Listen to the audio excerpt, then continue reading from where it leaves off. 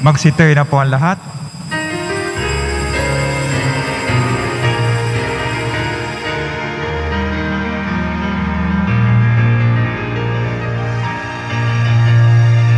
Viva pong Jesus Nazareno, awit at papuri alay namin sa'yo. Dinggin ng dalangin at pagsamo ng bayan mo. Viva pong Jesus Nazareno.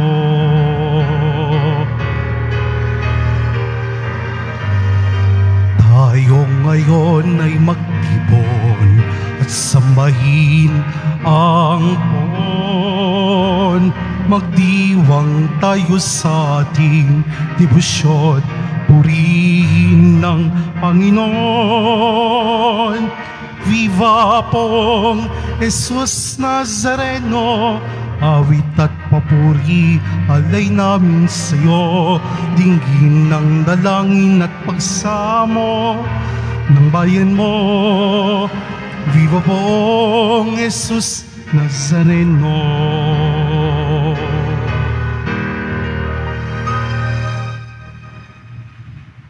Sa ngala ng Ama at ng Anak at ng Espiritu Santo, Amen. sumainyo ang Panginoon. At sumayo rin. Mga kapatid, aminin po natin ang ating mga kasalanan upang marapat tayong gumanap sa banal na pagdiriwang.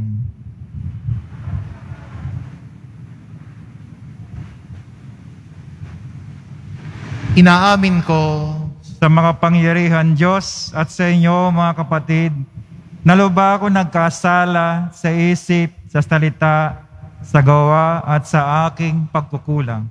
Kaya isinasamo ko sa Mahal Birheng Maria, sa lahat ng mga anghel mga banal, at sa inyo mga kapatid na ako'y panalangin sa Panginoong ating Diyos. Kaawaan tayo ng makapangyarihan Diyos, patawarin tayo sa ating mga kasalanan, at patnubayan tayo sa buhay na walang hanggan. Amen. Panginoon, kaawaan mo kami. Panginoon, kaawaan mo kami. Kristo, kaawaan mo kami. Kristo, kaawaan mo kami. Panginoon, kaawaan mo kami. Panginoon, kaawaan mo kami. Manalangin tayo.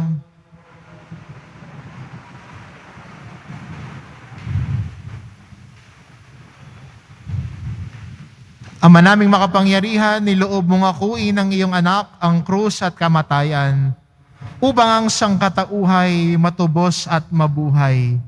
Ang pag-ako namin sa krus at kamatayan dito sa lupa, ayon sa diwa ng pagsunod sa iyong loob, na ginanap ng iyong anak, ay mapaging dapat nawang ka- aming kamtin, ang lubos na katubusan at pagkabuhay sa iyong piling sa pamamagitan ni Heso Kristo, kasama ng Espiritu Santo magpasawalang hanggan.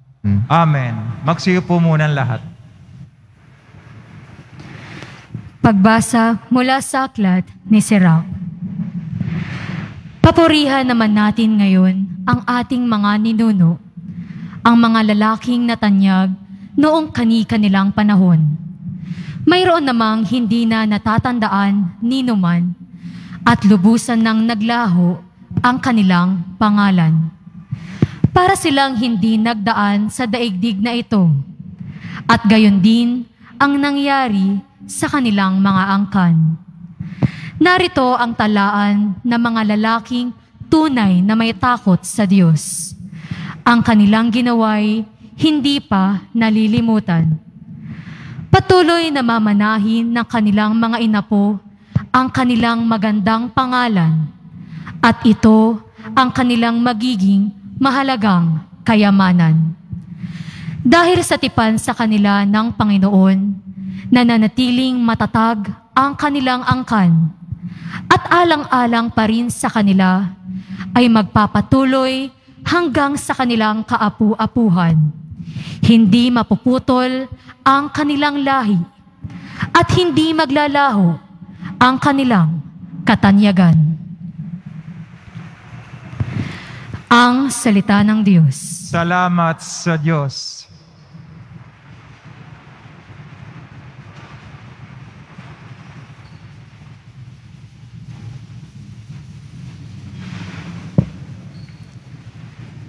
Panginooy nagagalak sa hirang niyang mga anak. Panginooy nagagalak sa hirang niyang mga anak. Ang Panginooy purihin, awitan ng bagong awit. Purihin sa pagtitipon ng tapat sa pananalig. Magalak ka, O Israel, dahilan sa manlilikha, dahilan sa iyong hari, ikaw siyon ay matuwa. Panginooy nagagalak sa hirang niyang mga anak.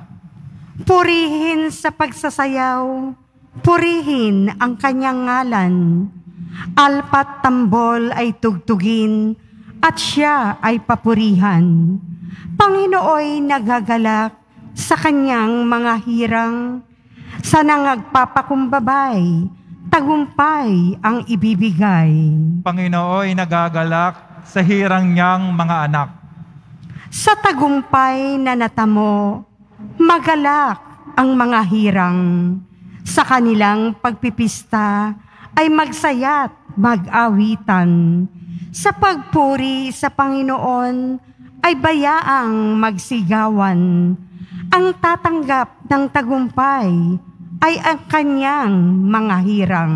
Panginooy nagagalak sa hirang niyang mga anak. Magsitay na po ang lahat.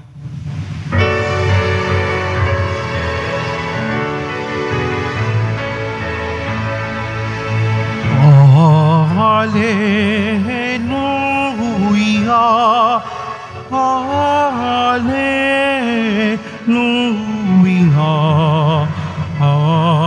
Hallelujah. Hallelujah.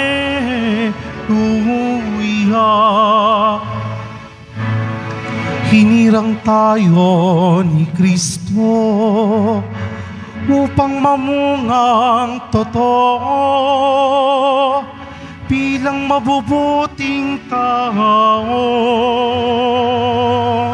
Hallelujah. Hallelujah. Hallelujah.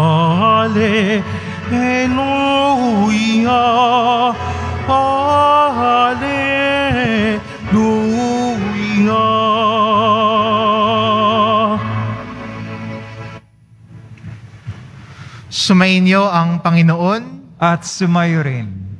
Ang mabuting balita ng Panginoon ayon kay San Marcos. Papuri sa iyo, Panginoon. Sa gitna ng pagbubunyi ng mga tao, pumunta si Jesus sa Jerusalem at pumasok sa templo. Pagkatapos tignan ang lahat ng bagay doon, lumabas siya at nagbalik sa Betanya kasama ang labindalawa. Palibas gabi na noon. Kinabukasan nang sila'y pabalik na mula sa Betanya, nagutom si Jesus. Nata- natanaw nito sa di kalayuan ang isang puno ng igos na madahon. Nilapitan niya ito upang tignan kung may bunga. Ngunit wala siyang nakita kundi mga dahon. Sapagat hindi pa panahon ng igos noon. Kaya't sinabi niya sa puno ng igos, wala na makakain pa ng iyong bunga. Ito'y narinig ng kanyang mga alagad. Pagdating nila sa Jerusalem, pumasok sa templo si Jesus. Kanyang pinagtabuyan ang mga nagbibili at namimili roon at ipinagtataob ang mga mesa ng mga mamamalit ng salapi at ang upuan ng mga nagtitinda ng kalapati. Pinagbawalan niyang magdaan sa loob ng templo ang sino mang may daladalahan at tinuruan niya ang mga tao. Sinabi niya, nasusulat, ang aking bahay ay tatawaging bahay dalanginan ng lahat ng bansa. Ngunit ginawa ninyong pugad ng mga magnanakaw. Narinig ito ng mga punong saserdote at ng mga iskriba. Buhat nooy, humanap sila ng paraan upang mapatay si Jesus sapagkat natatakot sila sa Kanya dahil sa humahanga ang lahat ng tao sa kanyang turo. Pagdating ng gabi, lumabas na naman ng lungsod si Jesus at ang kanyang mga alagad. Kinaumagahay, pagdaan nila'y nakita nilang patay na ang puno ng igos. Naalala ni Pedro ang nangyari at kanyang sinabi kay Jesus, Guro, tignan ninyo, namatay ang puno ng igos na sinumpa ninyo. Sumagot si Jesus, Manali kayo sa Diyos, tandaan ninyo ito. Kung sabihin ni naman sa bundok na ito, umalis ka riyan, tumalon ka sa dagat na hindi siya nag-aalinlangan, kundi nananalig na mangyayari ang sinabi niya, ito'y gagawin ng Diyos para sa Kanya. Kaya't sinasabi ko sa inyo, ano man ang hingin ninyo sa panalangin, manalig kayong natanggap na ninyo iyon at matatanggap nga ninyo. Kapag kayo'y nana- mananalangin, patawarin muna ninyo ang nagkasala sa inyo upang ipatawad din naman sa inyo ng inyong amang nasa langit ang inyong pagkakasala. Ngunit kung hindi kayo nagpatawad, hindi rin naman kayo patatawarin ng inyong amang nasa langit. Ang mabuting balita ng Panginoon. Pinupuri ka namin, Panginoong Yeso Kristo. Magsiupo muna lahat. Sa ating pong ebanghelyo ho ngayon ay marami pong sinabi si Jesus sa kanyang mga alagad. Matatawag po natin itong teaching moment po ni Jesus. Yung mga panahon na kinakausap ni Jesus ang kanyang alagad at tinuturuan niya sila. At maraming aral ang napupulot ng mga mga alagad ni Jesus sa pakikinig sa kanya. Pero posible ang lahat ng iyon kung bukas na maturuan. Mahirap naman kung magtuturo si Jesus, pero hindi naman bukas ang makikinig sa Kanya. Kaya hindi ba marami mga pagkakataon na si Jesus ay um- umalis sa, sa bayan na pinakanyang tinuluyan dahil ayaw nilang tanggapin at makinig sa mga aral at turo ni Jesus. Dahil ayaw nilang maging ma- sila. Kaya unang-una po sa pagiging alagad, bukas sa ang kanyang loob para matuto. Teachable ang isang alagad ni Jesus. Kaya po sa ating ebanghelyo, sa pagtuturo po ni Jesus sa kanyang mga alagad, unang-una ho niyang sinabi sa kanila, lahat ng bagay ay kaya ninyong gawin kung may pagtitiwala kayo sa akin. Hindi ba? Maalala natin sa Ebanghelyo, nung sinabi ni Jesus at sinumpa niya yung puno ng igos dahil walang bunga, kinabukasan namatay yung punong yon. At sabi ho ni Pedro, Panginoon, ito yung sinumpa niyong puno, namatay na. Kaya sabi ni Jesus, lahat posible sa taong may pananampalataya at, oh ha, hindi nag-aalinlangan. Minsan po, aminin natin, tayo hong mga Kristiyano, pag nagdadasal po tayo at may hinihiling sa Panginoon, nasagutin niya ang ating panalangin. Pag hindi pa niya sinasagot, naiinip tayo. At pag naiinip, humahanap ng ibang pagsasaligan. Naku, hindi pa yata sinasagot ni Lord yung panalangin ko. Dasal na ako ng dasal, mga two days. Ba't hindi pa rin niya sinasagot? Ah, yung kaibigan ko, binentahan ako ng sabi niya, pag sinuot ko yung porcelas na binili niya, masasagot lahat ng mga gusto ko. Mangyayari yung mga wish ko. Nabudol kayo. Kasi ho, kung buo ang tiwala natin sa Panginoong Diyos, siya lang ho, sapat na. Hindi mo na kailangan bumili ng kung ano-anong kwintas, porcelas. Yung iba para swertehin, no? Yung porcelas hanggang bra, hanggang balikat na. Hindi ko alam kung tumalab ba yan. Pero, kung ang isang Kristiyano, buo ang tiwala sa Diyos, hindi nag-aalinlangan sa Diyos, sasagutin ng Diyos at dinidinig niya ang, ang panalangin niya. Bakit? Kasi may tiwala. May tiwala po ang isang alagad at isang deboto sa mahal na poong Jesus Nazareno. Buo, ulitin ko ho, buo ang tiwala. 101% hindi ho tingi-tingi. Buo ang tiwala natin sa Kanya. At pag buo ho ang tiwala natin sa Kanya, alam natin na ang tao na buo ang tiwala sa Panginoon, hindi pinababayaan ng Diyos. At kahit kailan naman,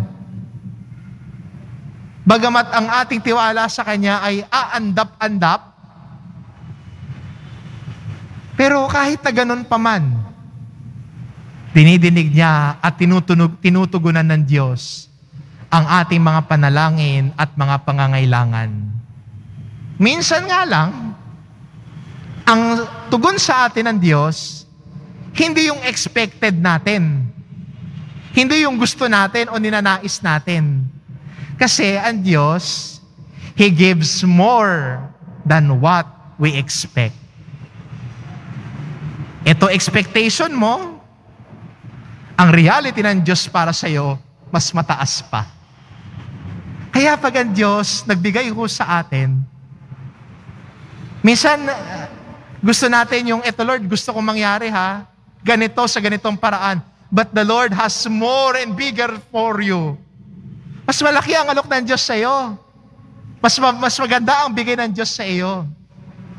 Dahil alam ng Diyos ang pangangailangan natin. Kailangan lang natin magtiwala sa Kanya. At naiintindihan ko po, marami ho, lalo na unang biyernes po ng buwan ngayon, marami nagtutungo dito sa simbahan. May bit-bit na mga panalangin at mga intensyon. Mga taong pinagdarasal. May mga pangarap na pinagdarasal. Pero paglalapit tayo sa Panginoon, buo ang tiwala natin sa Kanya. Dahil alam natin at kaya nating isalig ang ating buhay sa poong Isus Nazareno. At kahit kailan, hindi tayo pinabayaan ni Jesus. Kahit kailan, hindi tayo umuwing walang dala uluhaan sa pagkatalo. Umuwi tayong naluluha sa pasasalamat sa Kanya. Dahil hindi pinababayaan ng Diyos ang nananalig sa Kanya ng buo. At magkasama din po doon, hayaan din natin na ang Diyos na tumugon sa ating mga panalangin sa Kanyang takdang oras. Minsan tayo din, inoorasan natin ang Diyos. Pero hindi po tulad ng pag-iisip natin, gumalaw ang Diyos. Minsan nahayaan ng Diyos na maghintay tayo. At kaya po nasusula, kaya po nasaswak po yung salitang perseverance in prayer. Ma, wag magpanghinawa sa pagdarasal. Kahit na ang pinapanalangin mo, hindi pa yata sinasagot ni Lord, sige lang. Magtiwala sa Kanya, patuloy na magdasal pinakikinggan niya tayo at ibibigay ng Diyos sa atin ang ating pinapakiusap sa panahon na inilalaan niya para sa atin at His proper time.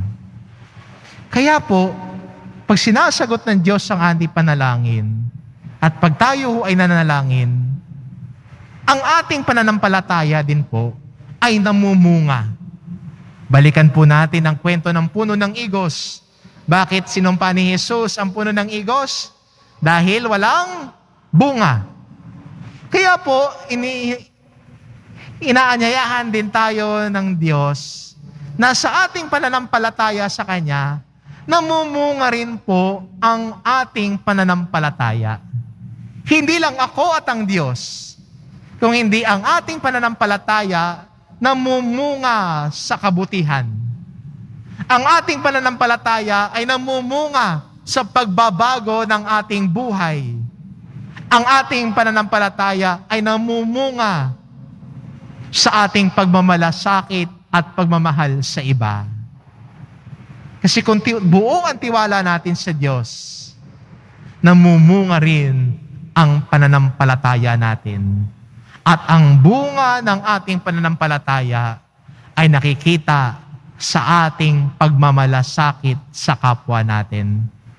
Kaya malalaman mo po kung ang isang deboto at isang kristyano namumunga ang kanyang pananampalataya kung nagbabago ang kanyang pag-uugali. Bumabait ang isang taong lumalago sa pananampalataya. Mas nagiging maunawain ang taong lumalago sa pananampalataya. Kaya po, ito po ang paanyaya sa atin ng ating ebanghelyo ngayon. Itong teaching moment ni Jesus para sa ating lahat na kanyang mga alagad. Lumago sa pagtitiwala at pananampalataya sa Kanya. Siya lang ang kapitan natin. Buo ang tiwala at higit sa lahat, sa ating pananampalataya, mamunga ito sa pagbabago ng ating buhay. Lumalago tayo sa pag-ibig. Amen.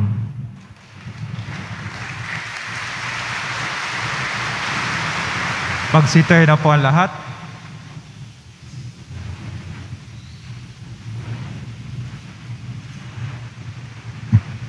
Minamahal ko mga kapatid, tumawag tayo sa Diyos Ama na ibinigay ang kanyang pag-ibig at palagi ang kalinga sa atin.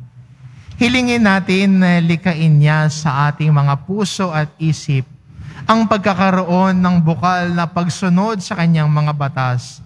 Ating bigkasin, dumito ka sa amin, O Panginoon. Dumito ka sa amin, O Panginoon. ang mga pinuno ng simbahan. Naway turuan ng bayan ng Diyos na sumunod sa kanyang mga batas, hindi dahil sa takot, kundi dahil sa pag-ibig. Manalangin tayo. Dumito ka sa amin, O Panginoon. Tayo naway maging tapat sa pagsunod sa utos na ibigin ng Diyos at ibigin ng kapwa. Manalangin tayo. Dumito ka sa amin, O Panginoon. Yaong mga nabubuhay sa kadiliman ng kasalanan, naway makatagpo ng inspirasyon at tapang na mamuhay sa hamon ng utos ng Diyos. Manalangin tayo. Dumito ka sa amin, O Panginoon. Ang mga may sakit, mga matatanda, mga nalulumbay, at lahat ng mga nagdurusa, nakasama natin, naway hindi natin mapabayaan. Manalangin tayo. Dumito ka sa amin, O Panginoon. Ama naming mahabagit, tanggapin mo ang aming mga panalangin na inaalay sa iyo ng may pananampalataya. Makilala nawa namin ang pag-ibig at kapayapaan ni Kristo, ang iyong anak at aming tagapagligtas. Hinihiling namin ito sa pamamagitan ni Kristong aming Panginoon. Amen. Magsiyo po muna lahat.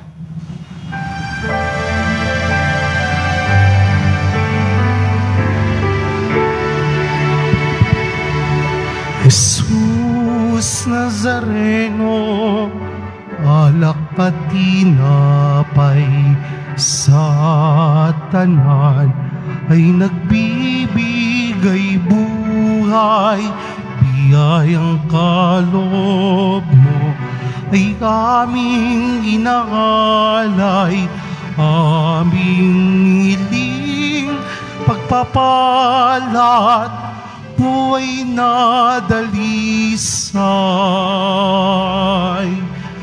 Pagpapalat, buhay na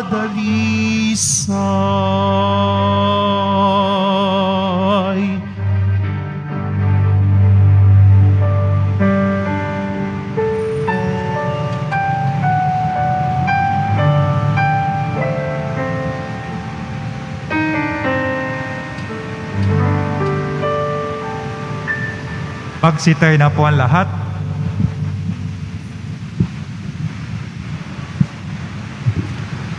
Manalangin kayo mga kapatid upang ang paghahain natin ay kalugdan ng Diyos amang makapangyarihan.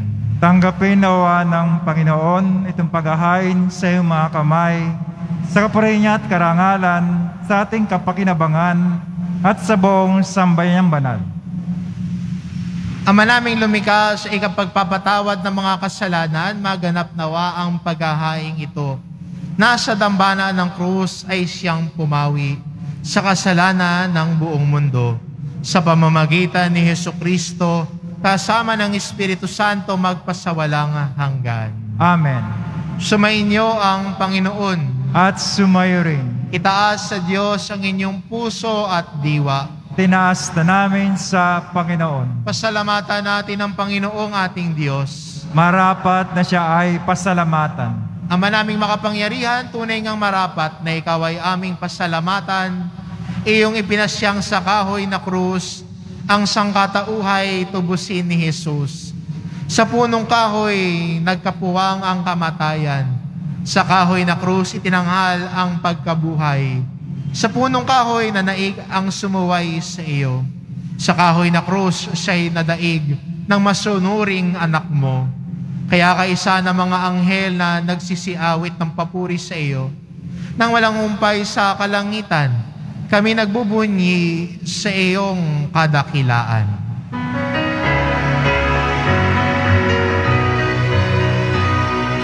Banal ka pong may kapal, banal ang iyong pangalan, banal ang iyong karingan. Langit lupa'y nagpupugay sa iyong kadakilaan. Dinarakila ng lahat ang naparito mong anak na siyang nagmulat sa bulag sa pilay ay nagpalakad at nakiramay sa lahat. Magsilod po ang lahat. Ama naming banal, ikaw ang bukal ng tanang kabanalan. Kaya't sa pamamagitan ng iyong Espiritu, gawin mong banal ang kaloob na ito. Upang para sa amin maging katawan at dugo ng aming Panginoong Kristo. Bago niya pinagtiis ang kusang loob na maging handog, hinawakan niya ang tinapay, pinasalamatan kanya. Pinagati-hati niya iyon, iniabot sa kanyang mga alagad at sinabi, Tanggapin ninyong lahat ito at kanin, ito ang aking katawan na iahandog para sa inyo.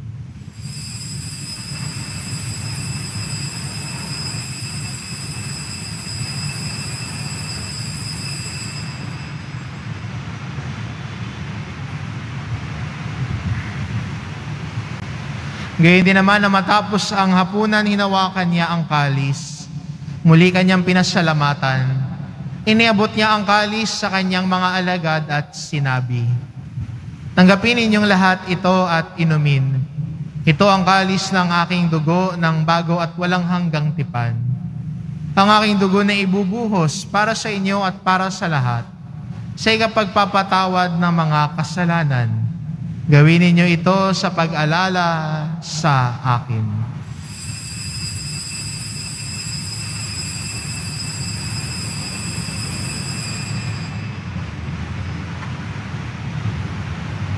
Magsitayo na po ang lahat. Ipagbunyi natin ang misteryo ng pananampalataya. Kristo'y namatay, si Kristo'y nabuhay, si Kristo'y babalik sa wakas ng panahon. Ama, ginagawa namin ngayon ang pag-alala sa pagkamatay at muling pagkabuhay ng iyong anak. Kaya't inaalay namin sa iyo ang tinapay na nagbibigay buhay at ang kalis na nagkakaloob ng kaligtasan. Kami nagpapasalamat dahil kami iyong minarapat na tumayo sa harap mo para maglingkod sa iyo. Isinasamo namin kaming magsasalo-salo sa katawan at dugo ni Kristo ay mabuklod sa pagkakaisa sa pamamagitan ng Espiritu Santo. Amalingapin mo ang iyong simbahang laganap sa buong daigdig. Puspusin mo kami sa pag-ibig kay isa ni Francisco na aming Papa at ni Jose na aming obispo at ng Tanang Kaparian. Alalahanin mo rin ang mga kapatid naming nahimlay na may pag-asang sila'y muling mabubuhay gayon din ang lahat ng mga pumanaw. Kaawaan mo sila at patuloyin sa iyong kaliwanagan. Kaawaan mo at pagindapatin kaming lahat na makasalo sa iyong buhay na walang wakas kaisa ng mahal na Birheng Maria na ina ng Diyos, ng kabiyak ng puso niyang si San Jose, kaisa ng mga apostol at ng lahat ng mga banal na namuhay dito sa daigdig ng kalugod-lugod sa iyo. May pagdiwang nawa namin ang pagpupuri sa ikararangal mo sa pamamagitan ng iyong anak na aming Panginoong Heso Kristo. Sa pamamagitan ni Kristo kasama niya at sa Kanya, ang lahat ng parangal at papuri ay sa iyo. Diyos amang makapangyarihan, kasama ng Espiritu Santo, magpa sa walang hanggan. Amen. Amen. Amen.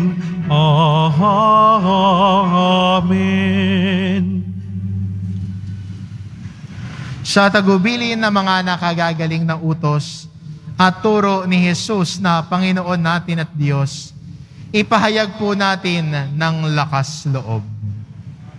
Ama namin, sumasalangit ka, sambahin ang ngalan mo, mapasa amin ang kariyan mo, sundin ang loob mo dito sa lupa para nang sa langit. Bigyan mo kami ngayon ng aming kakanin sa araw-araw at patawarin mo kami sa aming mga sala para nang pagkapatawad namin sa nagkakasala sa amin. At huwag mo kaming pahintulot sa tukso at yadya mo kami sa lahat ng masama. Hinihiling namin kami adya sa lahat ng masama, pagkalooban ng kapayapaan araw-araw. Iligtas sa kasalanan at ilayo sa lahat ng kapahamakan. Samantalang aming pinananabikan ang dakilang araw ng pagpapahayag ng tagapagligtas naming si Heso Kristo. Sapagkat iyo ang kaharian at ang kapangyarihan, tangkapurihan magpakailanman. Amen. Panginoong Heso Kristo, sinabi mo sa iyong mga apostol, kapayapaan ang iniiwan ko sa inyo, ang aking kapayapaan ang ibinibigay ko sa inyo. Tungayan mo ang aming pananampalataya at huwag ang aming pagkakasala. Pagkalooban mo kami ng kapayapaan at pagkakaisa. Ayon sa iyong kalooban kasama ng Espiritu Santo, magpasa walang hanggan. Amen. Ang kapayapaan ng Panginoon ay laging sumainyo. At sumayo rin. Magbigayan kayo ng kapayapaan sa isa't isa.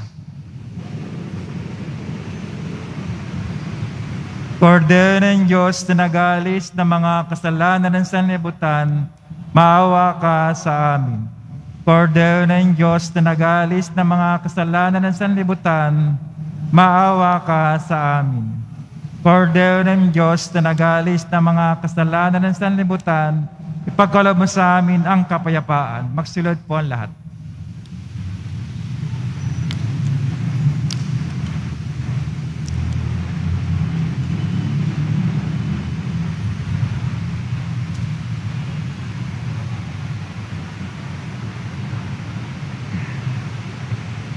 Ito ang kordero ng Diyos, ito nag-aalis ng kasalanan ng sanlibutan. Mapalad ang mga inaanyayahan sa kanyang piging. Panginoon, hindi ako karapat dapat na magpatuloy sa iyo, ngunit sa isang salita mo lamang ay gagaling na ako.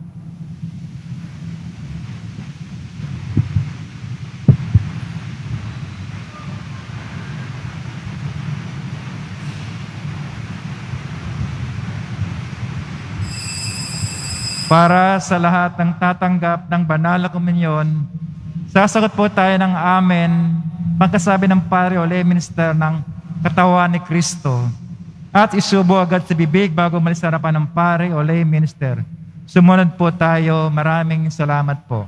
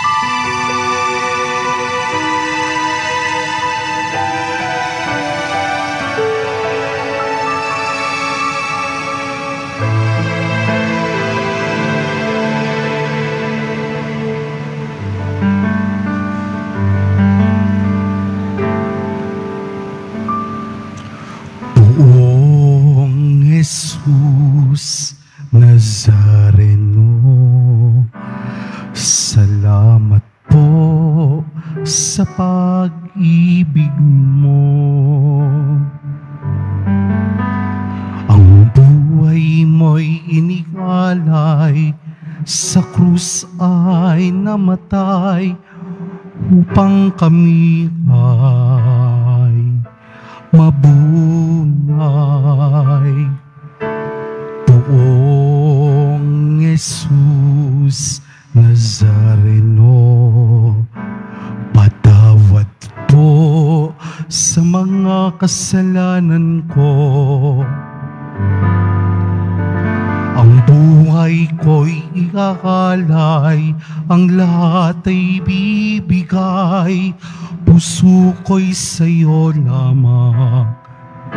Habang buhay,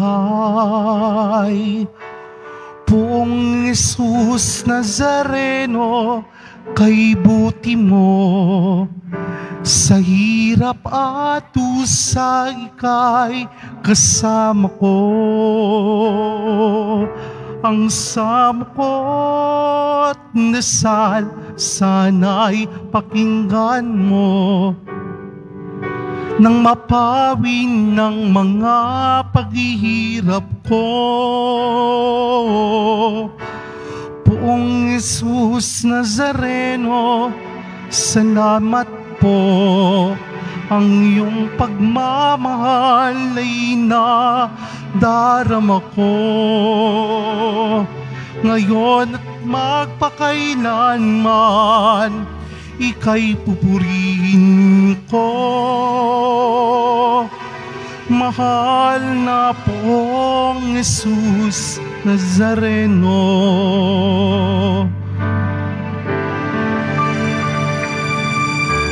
Poong Jesus Nazareno, kalugdan po ninyo itong kailingan ko.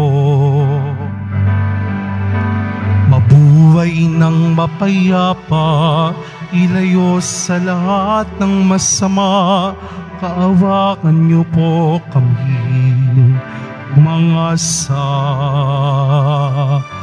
buong Jesus Nazareno. Patnubayan niyo pagnawat, gabayan ako. Iligtas sa kapahamakan at tiyak na kamatayan. Huwag po ninyo kami pababayaan. Poong Jesus Nazareno, kay buti mo. Sa hirap at usa ika'y kasama ko. Ang samo ko't nasal, sana'y pakinggan mo. nang mapawi ng mga paghihirap ko. Pong Jesus Nazareno, salamat po. Ang iyong pagmamahal ay nadarama ko. Ngayon at magpakailanman, ika'y pupurihin ko. Mahal na poong Jesus Nazareno.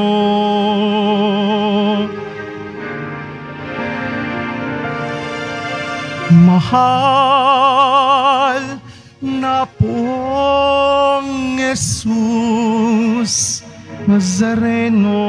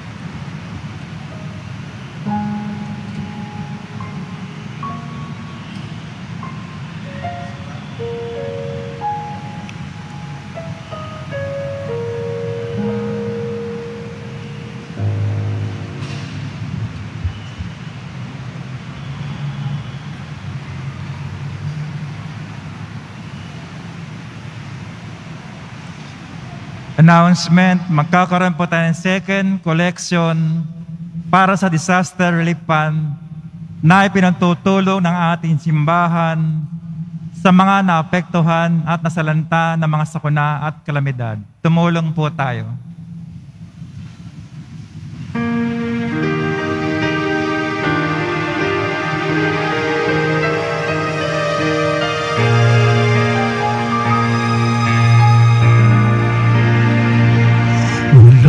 Sinuman ang nabubuhay para sa sarili namang. Walang sinuman ang namamatay para sa sarili lamang. Tayong lahat ay may pananagutan sa isa't isa. Tayong lahat ay tinipon ng Diyos na kapiling niya.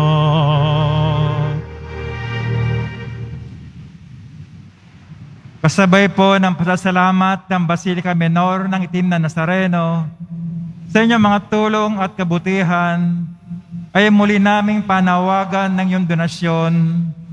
Tulad ng bigas, noodles, dilata o canned goods, instant coffee, sabong panligo at panlaba at bottled waters. Para sa patuloy nating pagtulong sa mga kapatid nating higit na nangangailangan lalo sa panahon ng kalamidad.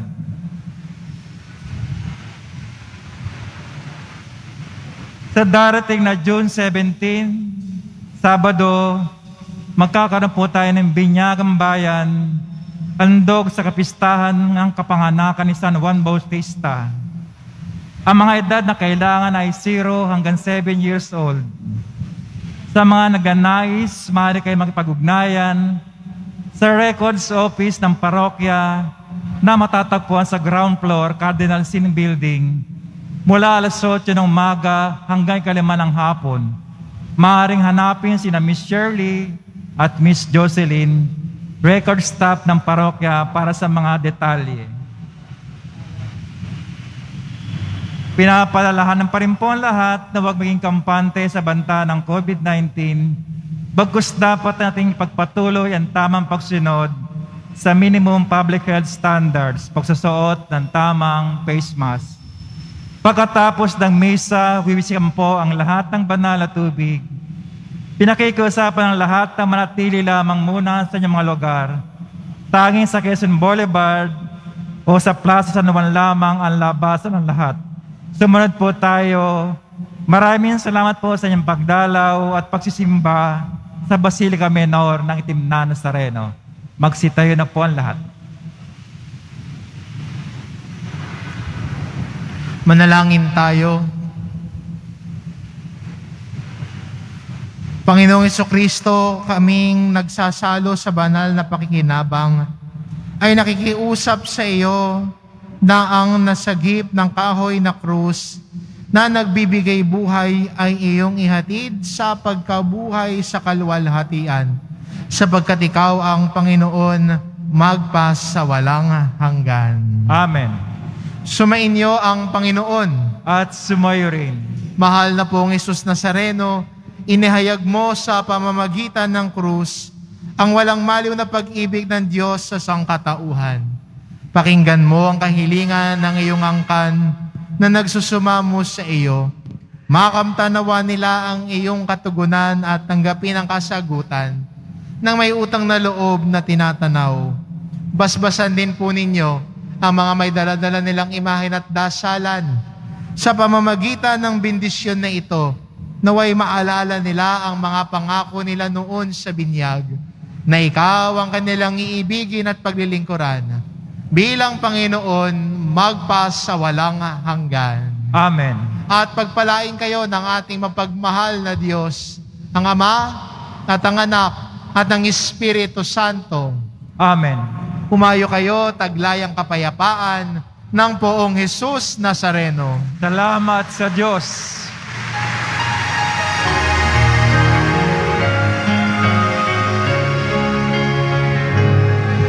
Nuestro Padre Jesus Nazareno, sinasamba ka namin. Pinipinto ka namin. Aral mo ang aming buhay at kaligtasan. Nuestro Padre Jesus Nazareno, iligtas mo kami sa kasalanan. Ang krus mong kinamatayan ay sagisag ng aming kaligtasan.